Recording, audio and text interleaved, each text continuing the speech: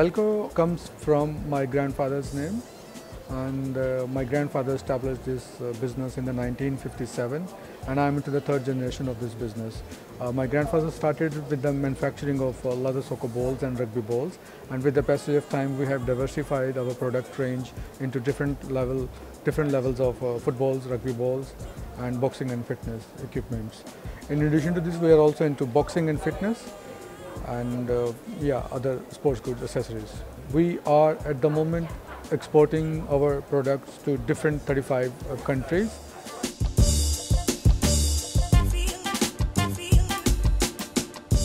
Recently we have uh, developed new kind of soccer balls. They are with the fusion tech technology and thermobonded technology. This is the latest uh, technology for the soccer balls we have. And in our rugby protective, all the gear, the protective gears are now uh, as per the same level of approval by World Rugby Federation.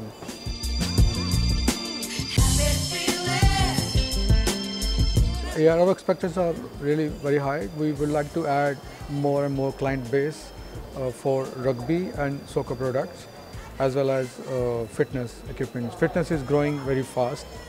So we are definitely focusing on fitness and latest technology of footballs.